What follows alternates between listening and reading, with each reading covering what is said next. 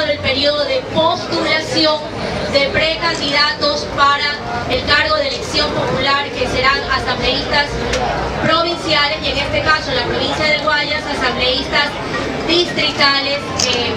por cada uno de los distritos en nuestra provincia. Se convoca a todos los comités de la Revolución Ciudadana a participar en la postulación de o de precandidatos para los cargos elección popular en la provincia del Guayas para asambleístas distritales en el distrito 1, 2, 3 y 4. Es, necesario mencionar que para estas postulaciones de precandidatos, los comités de la Revolución Ciudadana tendrán que auspiciar, bien sea a uno o más candidatos que no superen el número de cinco por cada distrito.